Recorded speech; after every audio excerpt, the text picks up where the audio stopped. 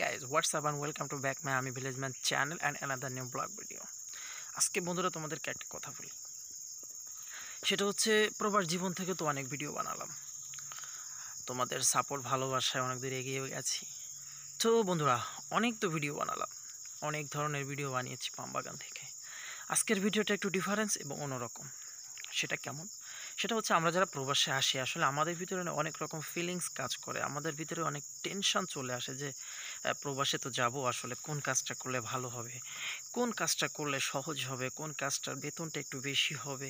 কোন কাজে ফ্যাসিলিটিসটা একটু বেশি পাওয়া যাবে?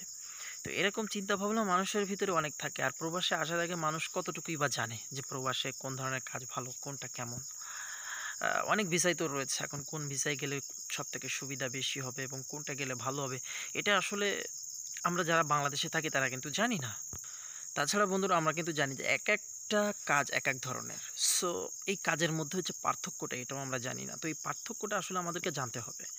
এটা জানা খুবই জরুরি বিদেশে আসার জন্য। কারণ বন্ধুরা, বিভিন্ন ক্যাটাগরির কাজ রয়েছে।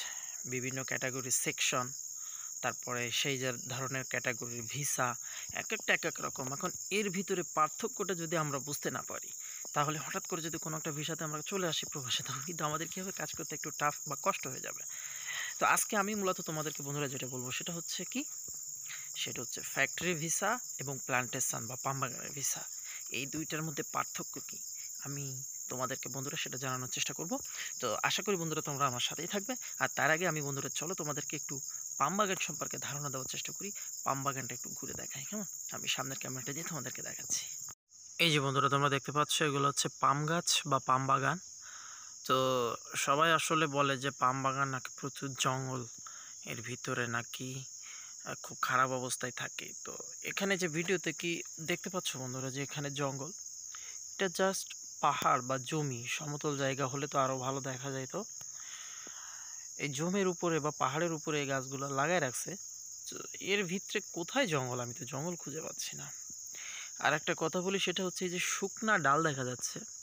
তো যখন কাটিং ম্যান এই ফলগুলা কাটতে আসে, তখন কিন্তু এই শুকনো ডালগুলা কেটে গাছটাকে পুরো প্রনিং করে, সাফ করে ফেলে। তারপরে কিন্তু একদম খুব সুন্দর দেখায়, যেমন এই যে পাশেই কেটে গেছে, আমি দেখাচ্ছি। এই যে দেখো বন্ধুরা, এখানে কিন্তু কেটে গেছে, ভালো দেখা যাচ্ছে না। এই যে দেখো বন্ধুরা, এখান থেকে ফল কেটে বেরিয়ে গেছে গ্যাং। তো এখানে কিন্তু শুকনা ডাউল নাই, বা শুকনা ডাল যেটা বলে, মালয়েশিয়াতে ডালকে ডাউন বলে, এখন কিন্তু এখানে নাই। এখন কত সুন্দর দেখা যাচ্ছে, তাই না? মানে শুকনা ডাল। তো এই জন্য এটা এখনও কাটা বাকি, এটা এই জন্য এরকম দেখা যাচ্ছে। তো বন্ধুরা, যেটা বলছিলাম, আসলে প্লান্টেশন ভিসা এবং ফ্যাক্টরি ভিসা দুইটাই আলাদা কাজ দুইটার ভিতরে কারও কোনো পারস্পরিক সম্পর্ক নাই বা কাজের কোনো মিল নাই। অবশ্যই দুইটা ডিফারেন্স কোনোভাবে মিল থাকবে না। আর প্রথমত যেটা, সেটা হচ্ছে আমরা প্রবাসীরা প্রথম যে জায়গায় ঠকে যাই সেটা হচ্ছে আমাদেরকে বলে কি যে ফ্যাক্টরি ভিসা তোমাকে তেল প্যাকিং করতে হবে বাংলাদেশ থেকে। বেশিরভাগ কিন্তু এমনটা শোনা যায় যে, তোমাকে তেল প্যাকিংয়ের কাজ দেওয়া হবে, তুমি যাবে জাস্ট তেলগুলো প্যাকেটিং করবে। তো এটা তো আসলে ফ্যাক্টরি কাজ বা মিলের কাজ। তো বন্ধুরা, এটা তোমরা মাথায় রাখবে, যদি ওইখানে প্লান্টেশন ভিসা লেখা থাকে, তাহলে অবশ্যই এটা কিন্তু পাম বাগান অথবা রাবার বাগান। যদি তারা বলে যে তেল প্যাকিং করতে হবে, তেল প্যাকিং করতে হবে বাট ওইখানে লেখা রয়েছে, কোনো ফ্যাক্টরি ভিসা লেখা নেই, ওখানে লেখা রয়েছে প্লান্টেশন ওয়ার্ক বা প্লান্টেশন ওয়ার্কার তাহলে কিন্তু বন্ধুরা ফেসে যাবে। সো আসার আগে তোমরা এই জিনিসটা অবশ্যই দেখবে। সো যদিও কেউ বারবার বলে যে তোমাকে তেল প্যাকিংয়ের কাজ দেওয়া হয়েছে ফ্যাক্টরির কাজ দেওয়া হয়েছে, তাহলে অবশ্যই তোমরা ওখানে দেখবে বন্ধুরা ওইখানে কী লেখা রয়েছে প্লান্টেশন ওয়ার্কার নাকি ফ্যাক্টরি ওয়ার্কার যদি এটা তোমরা ক্লিয়ার করতে পারো, তাহলে কিন্তু ঠকবে না। হলে কিন্তু কী হবে? তেল প্যাকিংয়ের কাজগুলো টাকাও বেশি নিয়ে নিবে ফ্যাক্টরির ভিসাতে টাকাটাও বেশি নিবে এবং দেখা যাচ্ছে পরবর্তীতে পাম বাগান অথবা রাবার বাগানে এসে তোমাকে কাজ করতে হবে। তো বন্ধুরা, এখন আমার পিছিয়ে দেখতে পাচ্ছ এটা? এটা কিন্তু একটু আগে পুরা শুকনা ডালে ভরা ছিল। এখন ফল কেটে ফেলেছে গ্যাঙে। এখন কত সুন্দর দেখা যাচ্ছে। তার আগে আরও একটা কথা বলি, সেটা হচ্ছে প্লান্টেশন এই যে ভিসাটা বা এই সেক্টরটা এটা কিন্তু আসলে এগ্রিকালচার একটা ভিসা। তো শুধুমাত্র মালয়েশিয়াতে এই ভিসাটা পাওয়া যায়, প্লান্টেশন ভিসা আর ইন্দোনেশিয়াতে। তো এগ্রিকালচার থেকে এটা একটু আলাদা করে দিয়েছে। দিয়ে এটা নাম দিয়েছে প্লান্টেশন ভিসা। প্লান্টেশন সেক্টর হচ্ছে দুইটা কাজ, একটা হচ্ছে পাম বাগান আর একটা হচ্ছে রাবার বাগান। তো এখন এই যে ফ্যাক্টরি ভিসা আর প্লান্টেশন ভিসার ভিতরে পার্থক্য, আসলে অনেক পার্থক্য রয়েছে। অনেক ডিফারেন্স আকাশ পাতাল ডিফারেন্স কারণ ফ্যাক্টরি ভিসাগুলো এটা হচ্ছে শহরের পারে অথবা একটা নির্দিষ্ট জায়গায় একটা ঘরের ভিতরে বা একটা বিল্ডিংয়ের ভিতরে কাজ করতে হয়। আর প্লান্টেশন এটা হচ্ছে পাম বাগান, এটা বেশিরভাগই হচ্ছে ফিল্ডে বা মাঠের ভিতরে। রোদের ভিতরে, তারপর বৃষ্টির ভিতরে কাজ করতে হয়। ফ্যাক্টরির ভিসা, রোদ, বৃষ্টি যাই হোক, এটা কিন্তু গায়ে লাগে না। বাট প্লান্টেশন ভিসায় এগুলো কিন্তু সব সহ্য করতে হয়। তাছাড়া বন্ধুরা আরও একটা বড় পার্থক্য হচ্ছে ফ্যাক্টরি ফ্যাক্টরি ভিসাতে যে কাজগুলো করা হয়, এগুলো মূলত বেসিক স্যালারি এবং ওভার টাইমের উপর নির্ভর করে। আর প্লান্টেশন সেক্টরে কিন্তু এমনটা না। প্লান্টেশন সেক্টরে সব হচ্ছে কন্ট্রাক্ট যত কাজ করবে, তত টাকা।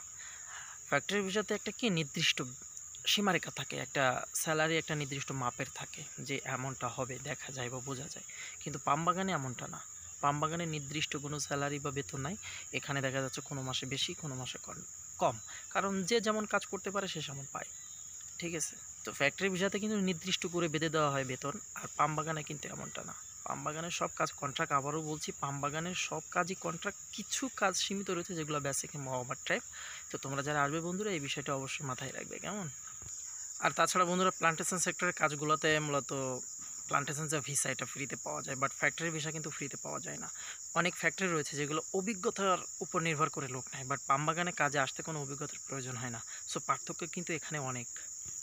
আর ফ্যাক্টরিতে একটা কথা কি বন্ধুরা? ফ্যাক্টরিতে কাজ করলে যখন একটা লোক পুরাতন হয়ে যায়, তখন দেখা যাচ্ছে যে তার স্যালারিটা কিন্তু বাড়তে থাকে বছরে বছরে। বাট পাম বাগানে কিন্তু এমন নয় এখানে সব কন্ট্রাক্টের কাজ একই রেট একই রকম থাকে। যদি কখনো রেট বাড়ে, তখন দেখা যাচ্ছে সেটা আলাদা বিষয় বা ভিন্ন বিষয়। কিন্তু এখানে ফ্যাক্টরির ভিসার মতো কিন্তু যে কাজ করলে, যেমন এক্সপিরিয়েন্সের উপরে বেতন বাড়ানো হয়, এখানে কিন্তু এরকম কোনো কিছুই না। নতুন পুরাতন সব সেম বেতন পাম বাগানে। তাছাড়া বন্ধুরা ফ্যাক্টরিতে কাজ করলে হয় কি, যেহেতু এগুলো শহরের উপরে থাকে, সেখানে ম্যাসে খাওয়ার একটা সুবিধা রয়েছে। এখানে কিন্তু ম্যাসে সবাই খেতে পারে টাকা দিয়ে, তার কষ্ট করে রান্না করা লাগে না। যদি কেউ রান্না করতে চায়, সেটা আলাদা বিষয় রান্না করে খেতে পারে। বাট পাম বাগানে কিন্তু ম্যাসের কোনো সিস্টেম নাই। এখানে এসে নিজে রান্না করে খেতে হয়। এটা কিন্তু বড় একটা কষ্টের বিষয়। সারাদিন কাজ করে লোকে রুমে যেতে পারে, কিন্তু সন্ধ্যার পরে যে রান্নাবান্না করাটা, এটা যে কি কষ্ট? যে করে একমাত্র সেই জানে। তার মানে এই না যে প্লান্টেশন ভিসা খারাপ, আমি বলছি না যে এটা খারাপ, এটাও ভালো। যারা কাজ করতে পারবে, পরিশ্রম করে এখানে কিন্তু ফ্যাক্টরি থেকে বেশি টাকা ইনকাম করা সম্ভব পাম বাগানে, কারণ এখানে কন্ট্রাক্টের কাজ। যত কাজ, তত টাকা। সো পাম বাগানে কিন্তু প্রচুর ইনকামের সোর্স রয়েছে, যদি সে করতে পারে হার্ড পরিশ্রম। আজকে বন্ধুরা, রোদের প্রচুর তাপ প্রচুর তাপ। এমনিতে কালা মানুষ আরও কালো হয়ে যাচ্ছে এই রোদে। তো যাই হোক, যেটা বলছিলাম, সেটা হচ্ছে ফ্যাক্টরি ভিসা বা প্লান্টেশন সেক্টরের যে ভিসা এখানে আসলে আরেকটা কথা বলে থাকি বন্ধুরা, সেটা হচ্ছে তোমরা জেনে নাও ফ্যাক্টরি ভিসাতে কিন্তু একটা নির্দিষ্ট সময় পর্যন্ত কাজ করতে হয়, একটা টাইম বেঁধে দেওয়া হয়। ঠিক আছে? যেমন সকাল আটটা থেকে রাত আটটা পর্যন্ত বারো ঘণ্টা ডিউটি করা লাগে। বাট প্লান্টেশন সেক্টরে কিন্তু এমনটা না। তুমি সকালে কাজে আসলে যেহেতু কন্ট্রাক্টের কাজ, তোমার দুই, তিন ঘণ্টা, চার ঘণ্টা, পাঁচ ঘণ্টা এক্সাম্পল আট ঘণ্টা কাজ করার পর আর ভালো লাগল না তুমি, কিন্তু যখনই মন চাইবে তখন চলে যেতে পারবে। এখানে কিন্তু কোনো নির্দিষ্ট টাইমিং বেঁধে দেওয়া নাই যে তোমাকে এত পর্যন্ত কাজ করতেই হবে। আর তাছাড়া এখানে কন্ট্রাক্টের কাজ তুমি যেমনটা কাজ করবে তেমন টাকা তুমি পেয়ে যাবে। সো এখানে কোনো চাপাচাপি বা অন্য কোনো কিছু কিন্তু নাই। বাট ফ্যাক্টরির বিষয়তে কিন্তু একটু ঝামেলা থাকে চাপ থাকে কাজের। কারণ একটা, ওখানে একটা মানে কি বলা যায় অল টাইম কাজের পারে থাকতে হয়। ফ্যাক্টরির ভিসাতে কিন্তু একটা নির্দিষ্ট টাইম দিয়ে দেওয়া হয় যে, এই টাইমের থেকে এই টাইম পর্যন্ত রেস্ট টাইম বাট প্লান্টেশন সেক্টরে তোমার যখন মন চাবে তুমি তখনই কিন্তু রেস্ট করতে পারবে। হঠাৎ করে একটা গাছে ফল কাটলে, কাটার পরে কষ্ট হয়ে গেল, তুমি কিন্তু রেস্ট নিতে পারবে, সমস্যা নাই। আর তাছাড়া বন্ধুরা, দুইটার কাজই তো ভিন্ন।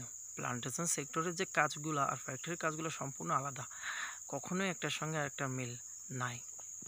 তো বন্ধুরা, এখন তোমাদের যেটা ভালো লাগবে, তোমরা সেটাতে আসবে। আমার যতটুকু জানার ছিল, আমি জানিয়ে দিয়েছি। এখন আসলে প্রচুর গরম পড়ছে, আমি টিকতে পারছি না, রুমের দিকে যাব বন্ধুরা।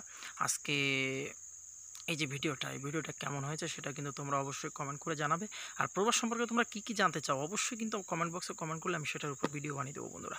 তো ঠিক আছে বন্ধুরা, ভালো থাকবে সবাই, দেখা হবে এবার অন্য কোনো ভিডিওতে আজকে এ পর্যন্ত, আল্লাহ হাফেজ, টাটা বাই বাই